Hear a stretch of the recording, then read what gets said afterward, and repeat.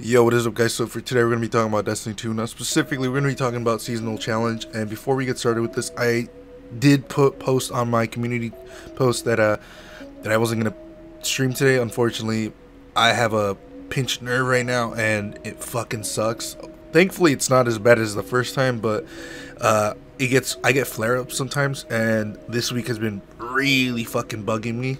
So like right now I'm like hunched over because my fucking neck really hurts.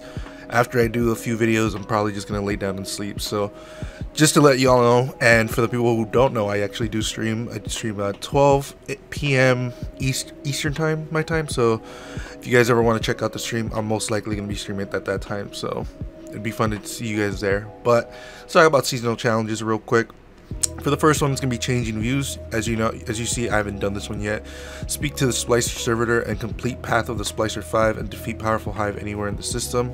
I suggest you guys do this one because I still have not done this one, the uh, Scorn one, because I just I did not play that much that week, and then uh, I still have it. Like you can do it anywhere, but specifically the Scorn one's pretty hard because we don't have a lot of Scorn that are powerful in a lot of areas. Like we don't have a raid or anything like that. And uh, shit, we don't have a hive one either. God damn. Uh, but yeah, uh, just actually, whatever. It doesn't matter. No, no, no. There's hive in uh, whatever. It doesn't matter. so Next one is Expedited Expunged Tartarus. Complete Expunged Tartarus in 6 minutes or less.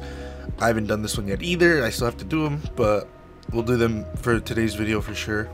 Uh, in Override or Expunge, defeat combatants with grenade launchers, earn bonus progress by repeated, rapidly defeating them. Uh, this was not too hard. You, you, can most likely complete this while completing both of these up top. Up top. Uh, Apex Armor. This one's not hard. Just upgrade your armor. I wish it worked retroactively because I've already done a bunch of armor, but again, doesn't matter all too much. Earn Valor points or Valor rank 16. This one's not too hard. It might be annoying for a few people, but I reset my Valor like almost weekly now. So, I mean, if I'm playing PvP a lot. And last but not least, complete any Nightfall Strike on Legend or higher without dying. This one's going to be kind of annoying considering uh, Legend is the one that you don't have any uh, matchmaking. So you do have to go into LFG for this one. But other than that, uh, these are pretty simple. A lot of these are simple, aside from the Undying. That one's just gonna be annoying as fuck. But yeah, let me know your thoughts in the comments below. I apologize if you guys were looking forward to the stream, but my neck is fucking killing me right now. So yeah, hopefully I get better by tomorrow. That way I can start streaming. If not, I'll let you guys know through a post again. But yeah, let me know your thoughts in the comments below. If you guys want to follow me on my social media outlets, links are in the description below. I thank you all for coming up to this point, and I'll see you guys later.